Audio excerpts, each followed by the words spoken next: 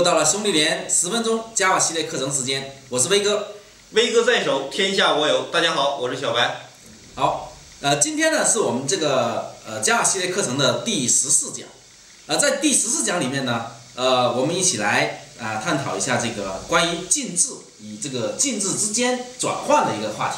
OK，OK，好，呃，我们看一下这一节的这个课程大纲。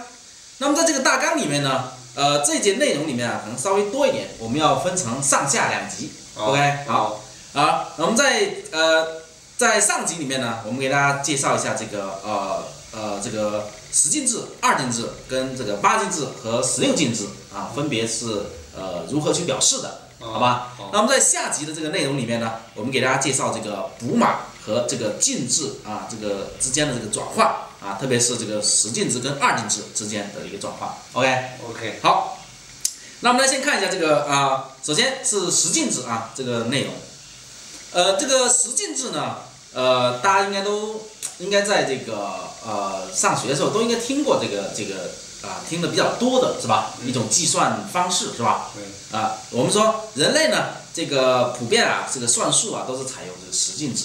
对吧？哎，这可能是跟这个啊，说人类有十个手指是有关系的，对吧？因为总共就十个手指嘛，是吧？普遍大家，OK，呃，那么这个呃这里面啊，我们看一下啊，有一个叫呃亚里士多德啊，他称呢这个人类啊，普遍也是使用这个十进制啊，说只不过呢是绝大多数人呢生来就有这个十根手指头，对吧？哎，这样一个这个这个这个这个解解剖学上的一个事实的一个结果啊。大家都有十，基本上啊，啊不会残缺的都有十个手手指，对吧？哎，这个意思。那这个，嗯，亚里士多德何何许人也？啊，呃，这个亚里士多德是吧？嗯。嗯，小白，你听过那个亚历山大了解吗？亚历，我现在就亚历山大呀，我现在就亚历山大。啊，不是亚历山大啊，是这个呃，古希腊有一个著名的这个。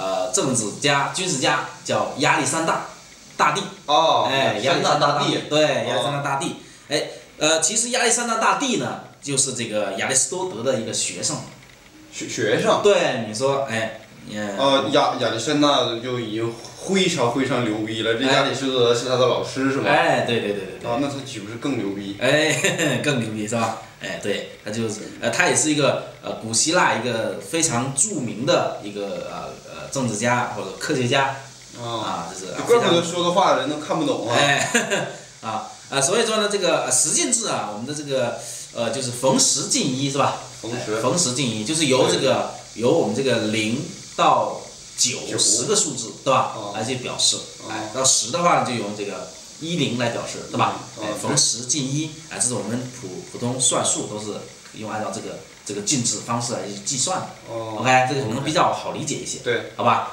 ，OK，然后这是我们的十进制，那我们再看这个二进制啊，二进制来说呢，呃，就这个进制呢是这个计算机啊，它是以这个二进制来保存的，这个稍微有点计算机基础的同学应该都比较了解了，是吧？二进制，对，二进制来去保存这个数据的，对，哎，就说这样的话，它进行的计算的话是越简单，对计算机来说，数字越简单越快，是吧？对，哎。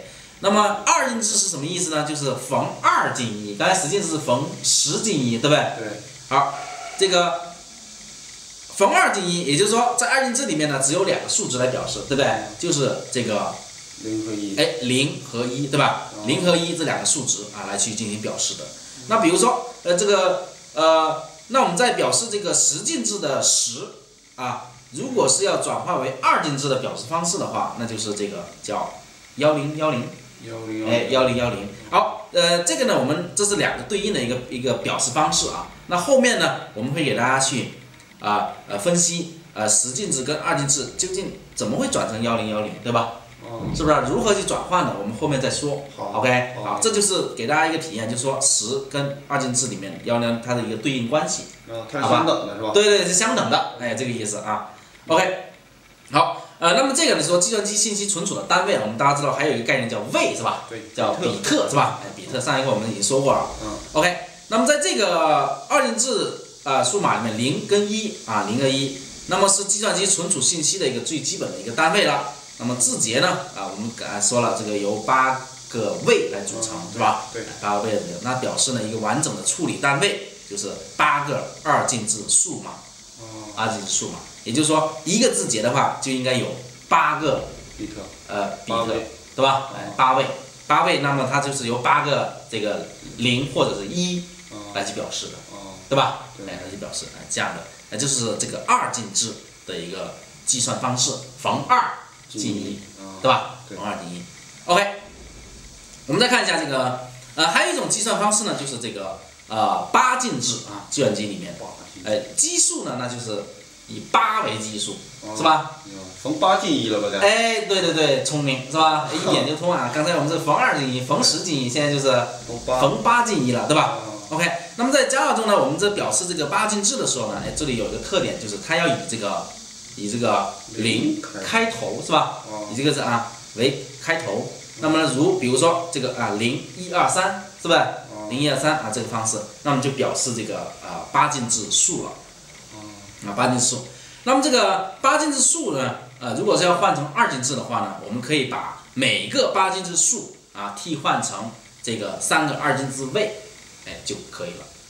啊，如何替换呢？怎么进行替换呢？比如说啊，我们二进制如果是表示零，应该二进制应该有呃，比如说我们有八，如果是一个字节的话，应该是八位是吧？对。那表示零的话，是不是这个八个零呢？嗯。对不对？在二进制表示方法里面就是八个零是吧？哎，我们说那就取啊，比如假如说我们取三个零吧，是吧？前就后啊，最右边三个零啊，最右边三个零，那八进制里面就是表示零，三个零表示一个零，是吧？OK，那如果八进制里面表示一，那我们在二进制里面就表示零零幺。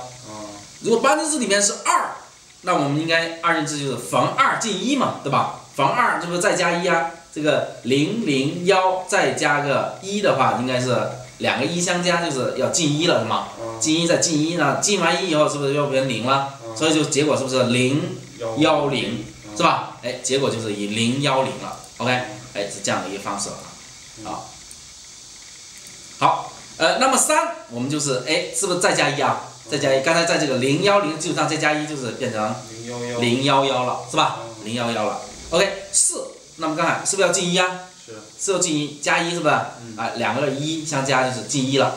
进一，那进一一又进一，是不是要变成幺零零零了？对吧？所以四就是幺零零，以此类推啊，以此类推，那么到达七就是变成了是吧？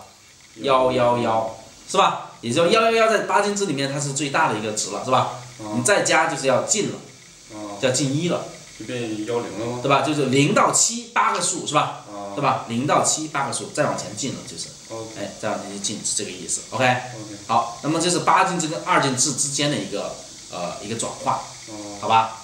好，呃，那么这个八进制呢，呃，那我们现在在计算机里面啊，已经很少使用这个八进制啊，因为它的表示方式呢，呃，应该说是它的表表示方式呃不太，就是说。呃，多不多，少不少，是吧？哎，所以说现在呢，计算机里面就很少用这个八进制来进行存储数据了。OK，所以这个呢，大家就呃了解一下就可以了。好，OK，好，我们看下一节。哎，还有一种表示方式呢，就是以这个十六进制的表示方式。十六。哎，这种十六进制的表示方式呢，呃，呃，又比那个二进制来说，它要更科学一些。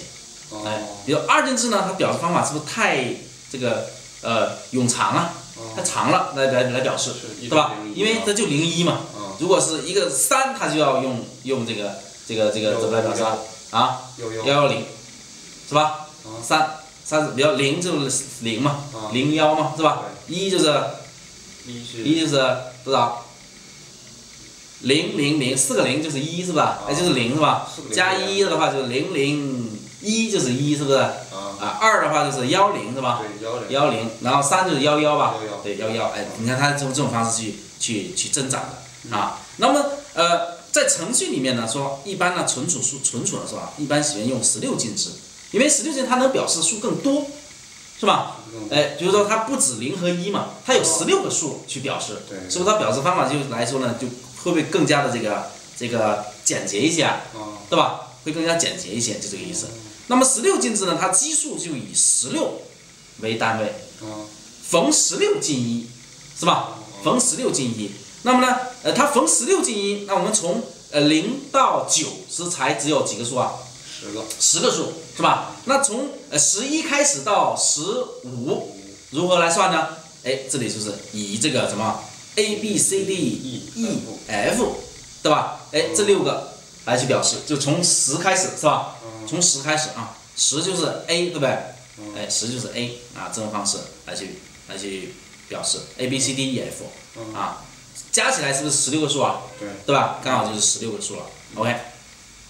好，那它表示的格式，我们一看到这个什么样的数字是十六进制数呢？哎，它也有它很明显的特点，对吧？很明显的特点，就以这个零 x 零 x 开头，开头的是吧？你或者大写 x 啊，这个方式开头的，那么我们就可以，哎，它就是以这个就是十六进制数了。哦。啊，后面后面呢，它有一个特点也是呃加上这个 a b c d e f，对吧？哎哎，这个也比较好认是吧？比较好认。OK，那么十六进制转换成二进制呢，也就只需要把每个十六进制数数字啊替换为相对应的四个二进制位就可以了。